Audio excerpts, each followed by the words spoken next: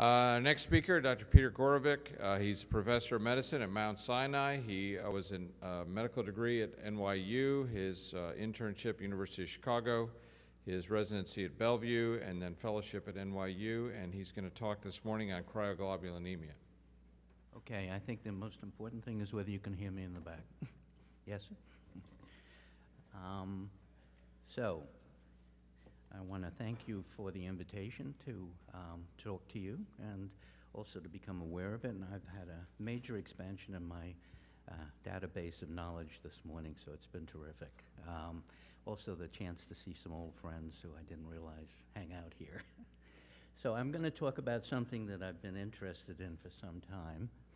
Um, I know I wasn't supposed to put down CME objectives, but basically the title of the subject of the talk is cryoglobulinemia lymphoproliferation, and hepatitis C. Uh, There's a lot one can say about each of these three subjects, but I'm going to focus on the combination.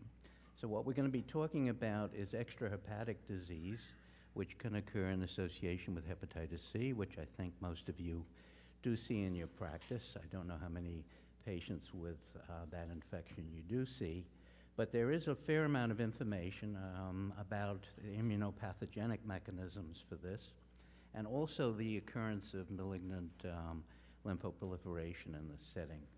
So um, what I'm going to do is use this as a base to uh, go over an evolving menu because there's actually some interesting new stuff that's coming out which I'm going to go about in terms of trying to treat this and looking at the overlap between these three entities, a specific viral infection that can be associated with diseases that we all recognize, and um, lymphoproliferation as a consequence of that viral infection.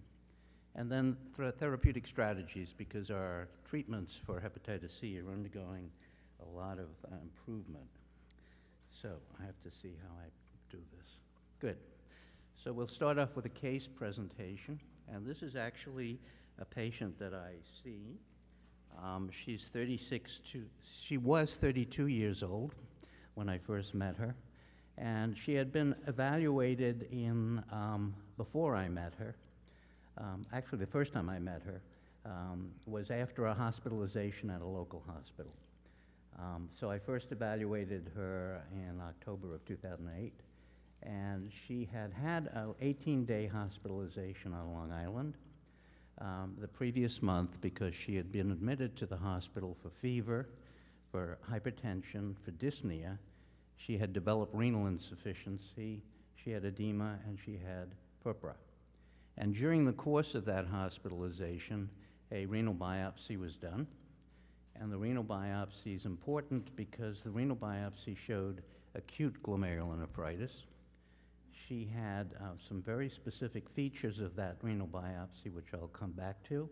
She had segmental, very large intracapillary thrombi, uh, but this was not antiphospholipid antibody syndrome, as I'll come back to.